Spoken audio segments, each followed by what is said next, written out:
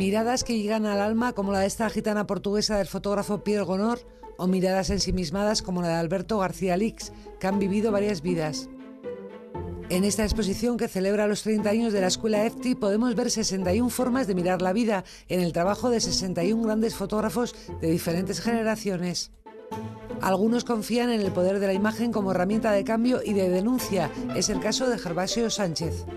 Yo quiero documentar las historias de estas personas que han tenido la desgracia de que su vida esté vinculada a la violencia, a la guerra y a la desesperación. Otros, en cambio, ven en la fotografía una forma de buscar su propia identidad, como Pachi Santiago, que juega con su imagen, y la de Claudia Schiffer. La identidad por un lado, lo masculino y lo femenino.